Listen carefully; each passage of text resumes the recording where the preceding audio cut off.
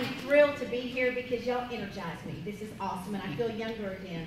I've been at EY 33 years, so I will be the old fire in the room, so thank you, thank you, thank you for energizing me. As Mike mentioned, there are three big things that I want to share with you tonight. The incredible hot startup scene in Denton. Wow, Denton.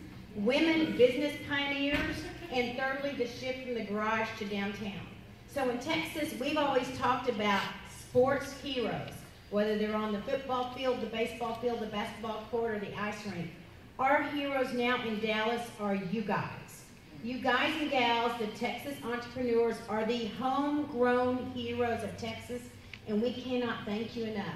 Because of you, this is one of the best places to live, work, and play. So thank you, thank you, thank you. So first off, first off, let's talk about Denton's hot, hot, hot, hot startup scene. There is no stronger term than hot. We know about hot, especially August in Texas. But these days, the hottest ticket has got to be Denton. The fact is that Denton has cooked up more homegrown entrepreneurs, artists, musicians, and they're creating a hub for startup talent and innovation.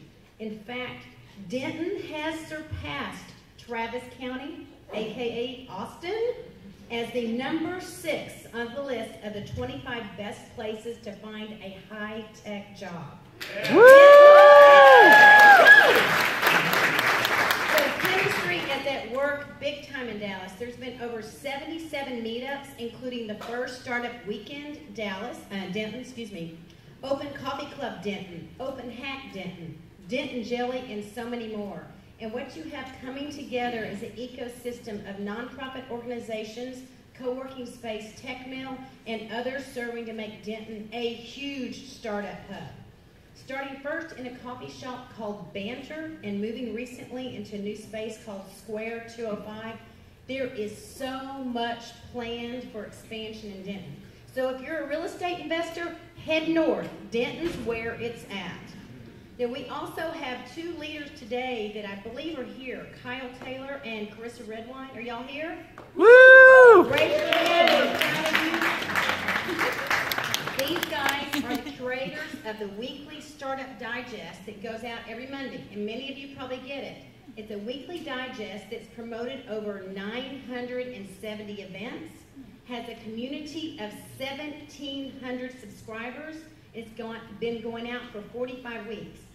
I'm a CPA. That's a lot of math. They've sent out over 77,000 emails in 2014.